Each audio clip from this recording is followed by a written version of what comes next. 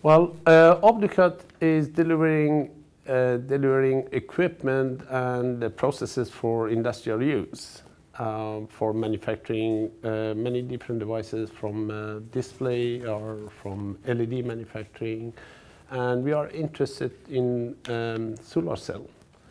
Uh, we like to be part of the solar cell development. Also, hopefully in the future, delivering some equipment or some processes for better uh, solar cell devices. So why we interested in this project is because it's a potential. There's a market potential and also technical potential. We are more interested in a market potential. It's possible to make it electrodes very different sizes, but when it became very small, like 100 nanometer or below that, then it became challenge, and that's that is where, we're coming in to produce very small features or very small contact holes for this project. So producing today is about 100 nanometer, and we can produce very large areas.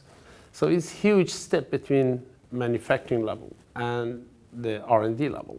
So we hope we can um, cover that bridge and the gap which is between the R&D and manufacturing. Uh, the, the technology we bring in is manufacturing level technology.